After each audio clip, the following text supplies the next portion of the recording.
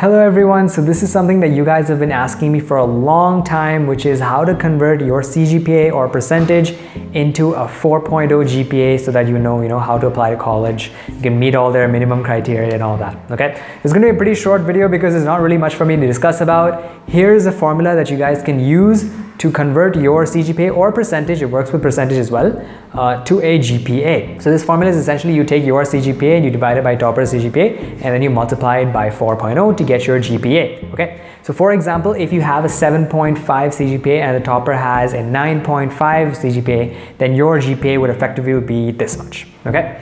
So how accurate is this?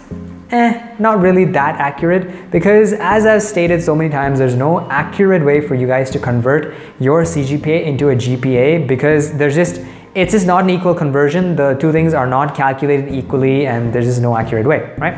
But this is sort of like a rule of thumb, like a hand rule, not a rule of thumb, like a hand rule that you can use to sort of figure out where your GPA is at so that you guys can understand whether you meet the minimum criteria of any university and all that, okay? So if you guys, you know, use this formula and you, and you, you know, find your calculated GPA and if you meet the minimum criteria of a university to apply, then great. If you don't meet it, I would say it's okay as long as you're within like 0.1 or 0.15 within that minimum criteria, I think it'll be fine. It's kind of a risk, but it's okay. You can just take that risk. Keep in mind that universities will never ask you to convert your CGPA to GPA when you apply, all right? They will just ask you, okay, what is your CGPA or percentage? You know, how did they calculate? What was it out of? What was your score? And that's the only thing they'll, they'll ask you, okay? They'll never ask you for a calculation because even they understand that there's no accurate way to calculate that right? So that's it for this video. I know there's not much here, but if you guys are wondering about what, what is a good GPA, you know, how important is GPA in your admissions, um, you know, process, uh, what is the impact of backlogs, will it really negatively affect your application and all that.